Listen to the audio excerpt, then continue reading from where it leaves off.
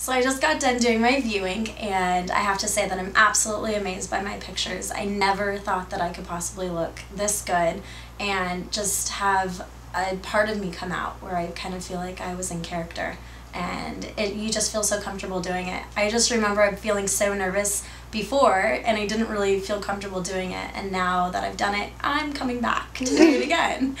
Um, I think all women should do this because it makes you feel it makes you feel loved and sexy and important and it boosts your self-esteem. And I think all women should feel that way every day because there's too many downfalls every day that put women down or put their figure down. And who cares if you have curves and you have gorgeous curves because they come up on here because I have curves and I love my curves.